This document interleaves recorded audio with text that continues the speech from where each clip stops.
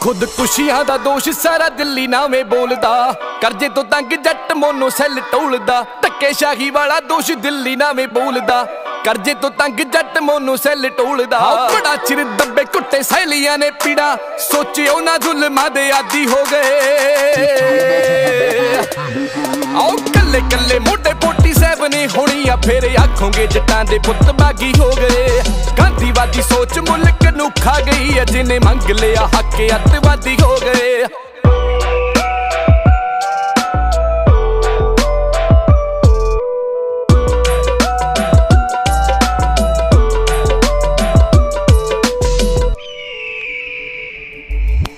ਉਹ ਸ਼ੁਰੂ ਤੋਂ ਹੀ ਰਹੀ ਆ ਪੰਜਾਬ ਉੱਤੇ ਅੱਖ ਪੁੱਤ ਭੁੱਲ ਜੋ ਜਾਗਦੇ ਜ਼ਮੀਰ ਜਦੋਂ ਤੱਕ। ਵਾਂਗ ਉਦਮ ਸਿਆਉਂਦੇ ਬੁੱਕਲਾਂ ਚੋਂ ਚੱਕ ਲਵਾਂਗੇ। ਸੋਚਿਓ ਨਾ ਬਹੁਤਾ ਚਿਰ ਤਰਨੇ ਤੇ ਬਵਾਂਗੇ। ਉਹ ਸਿਆਸਤਾਂ ਨੇ ਸੰਗੀ ਨੱਪਤੀ, ਗਰੀਬ ਦੀ ਵਿਕਾਉ ਲੀਡਰ ਮਿਲੇ ਸੀ ਤਾਂਯੋ ਫਾਡੀ ਹੋ ਗਏ।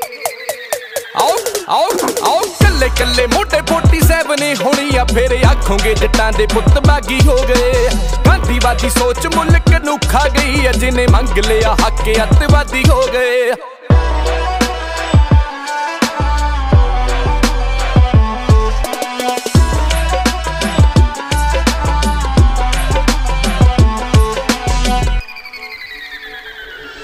ਆਓ ਸੋਨੇ ਦੀ ਚਿੜੀ ਤਾਂ ਖੰਭ ਖੰਭ ਕਰ ਵਿਕ ਗਈ। ਦੱਲਿਆਂ ਦੀ ਅੱਖ ਤਾਂ ਜ਼ਮੀਨਾਂ ਉੱਤੇ ਟਿਕ ਗਈ। ਬੜੀ ਸੌਖੀ ਮੋਦੀ ਯਾਰੋ ਜੀਬ ਜੀ ਹਿਲਾ ਗਿਆ। ਬੱਚੇ ਨਾ ਕਿਸਾਨ ਐਸੇ ਬਿੱਲ ਲੈ ਕੇ ਆ ਗਿਆ। ਬਾਗੀ ਸੋਚ ਵਾਲੇ ਹੁਣ ਬਾਗੀ ਹੋ ਗਏ। ਵੈਮ ਨਿਕਲੂ ਜੋ ਕਹਿੰਦੇ ਸੀ ਪੰਜਾਬੀ ਸੌਂਗ।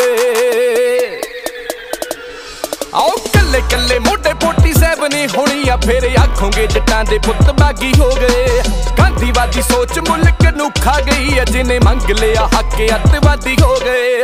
ਕੱਲੇ ਕੱਲੇ ਮੋਢੇ 47 ਨੇ ਹੋਣੀ ਆ, ਫੇਰ ਆਖੋਗੇ ਜੱਟਾਂ ਦੇ ਪੁੱਤ ਬਾਗੀ ਹੋ ਗਏ।